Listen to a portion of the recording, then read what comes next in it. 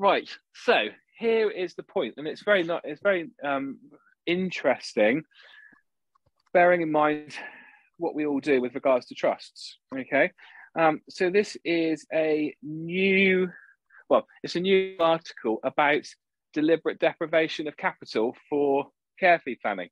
And what I thought I'd do is rather than me try and be pompous and uh, summarize the article, I thought I'd just read it. Um, and especially as this is being recorded, it probably makes a, a better a better narrative. So, the local government and social care ombudsman has issued guidance to English councils making decisions whether someone has deliberately deprived themselves of assets to avoid paying residential care home fees.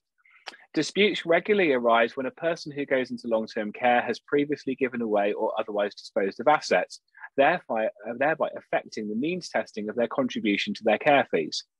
The local authority responsible for providing care must take account of this intentional deprivation of capital. The test applied by the public authorities for these anti deprivation provisions is whether a benefits claimant deprived themselves of capital for the significant operative purpose of securing entitlement to the benefit, in which case the notional capital would continue to be taken into account for means testing. Placing assets into trust can also be deemed to be capital deprivation if done in order to secure the benefits in question, as demonstrated in the England and Wales Court of Protection case re LMS in 2020. Such decisions are often very nuanced, but are not always made equitably, says the LGSCO. Sometimes local councils wrongly assume that all gifts are deprivation of capital, or they may wrongly apply the personal expenses allowance to people who fund their own care. In many cases, they have not kept proper records of how their decisions are reached, says the local government ombudsman.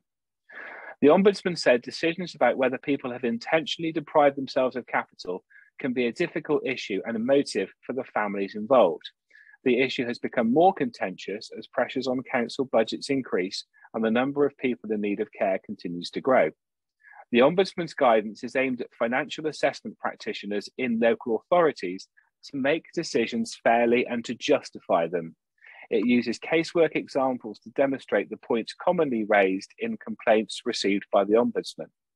The guidance warns councils that they should not simply assume that the person has deprived themselves of an asset with the intention of reducing what they should pay towards the cost of care and support. They should first fully explore whether there are other valid reasons why someone no longer owns an asset, or should ask the service user or their representative for their version of events before making decisions on deprivation of capital. The Council should also bear in mind that a decision of an intentional deprivation of capital requires the service user to have had, quote, reasonable expectation that they may need to pay towards that care and support at the time of the deprivation. The timing of the disposal of an asset can thus help inform a decision about the person's motivation for disposing of it. However, local authorities are under a duty to act when they suspect deliberate deprivation has taken place. Councils rightly expect that all those who can afford to contribute financially to their own care actually do so in accordance with national and local charging policies. If people try to avoid paying for their care, they, this ultimately puts further pressure on the system and is unfair to the taxpayer. So, what's interesting about that is it's basically the local government ombudsman slating local authorities for being too heavy handed um, with regards to uh, deliberate deprivation. And what it also then helps us as practitioners to do is to understand that the local authorities should be exploring and questioning all other reasons as to why, in our case, the APT has been done before just simply assuming that it's being done for reasons of deliberate deprivation of capital. So I thought that that's something that, you know, the article has links to the local government guidance, it has links to the sorts of factors that should be taken into consideration by the local authority um, prior to making a decision.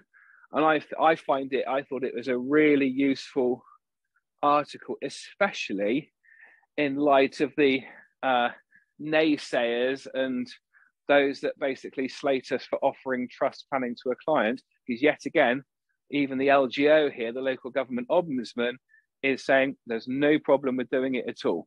So, um, for those of you who are STEP members, that uh, is this this piece is referenced in today's uh, STEP Digest.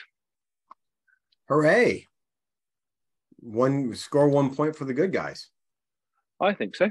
Well, I think it certainly makes the will make the local authorities think a little bit more um, about just being able to go around and say, oh well, you know, this is this, this is that, this is the other, um, and it's deliberate deprivation. Just as I'm actually going through a financial means assessment for myself with a client, um, I've seen South Gloucestershire Council take a positive step. Um, and the new South Gloucestershire means assessment form does just ask Do you own a property?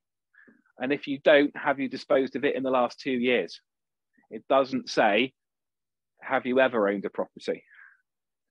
So, so this how whole does, how does one fill in this form then? Let's say I've sold an APT plus or an APT for that matter to a client four years ago. Yeah. And they go into uh, uh, me uh, into care and the family gets like the, the, section is it section 47 forms whatever the they get the forms it's a C, uh, CM uh, CM forty one form, yeah. Forty one um, to assess care, but it, as mm-hmm. you just say, it doesn't say have you ever owned a property. You have you owned a property in the last two years would they put down no because technically they are no not? no it doesn't say that it says yeah do you currently own a property and then if you tick no it says have you disposed or sold of the property in the last two years which okay. if you did the apt four years ago you haven't so the answer then would be no and presumptively no. sail through and then it's up it's up to the the local authority within further examination to turn around and say oh, okay well have you ever owned a property right well, it makes sense that over time, the the push pull between homeownership and care fees is only going to intensify because the local authority is not going to find money elsewhere, and so they'll want to. I'm I'm hypothecating here, and please make shoot holes in this where where where it needs to be. The the form. So right now, if I were to say to my clients, we have we have we have been advised that most local authorities will want to know whether you've disposed of the property within the last two years or not. Um, mm-hmm. Therefore, it's advisable that you do this not one year, not two years, not six weeks, but five, ten years before this all becomes a thing. Um, well, it, it's a it's a reason for when people say, "Oh, I got to do it seven years before." It's just another. It's another benchmark or flag in the sand that you can give to people when they say, you know, you talk quite correctly in terms of the Care Act, and you say, you know, the Care Act says it must be done before the need for care and support is reasonably foreseeable. Mm-hmm. And then they say, oh, what does that mean? And you give them the, the, the list of, of, of guidance that we know, you know, ad nauseam. And then you can say, but what I do know is on the current incarnation of the means assessment form is that the initial starter for question, uh, starter for 10 question is have you owned a property or have you sold or disposed of a property in the last two years? So, Mr. and Mrs. Client, your starter to be one step ahead of the game where the local authority is concerned is to make sure that you do the APT at least two years before care is required. Then if they go, oh, but what if I, what if I, so it doesn't matter because if as long as care isn't foreseeable, the two years isn't a hard and fast rule. All the two year rule is, is that's the one that you've got to declare initially on the form.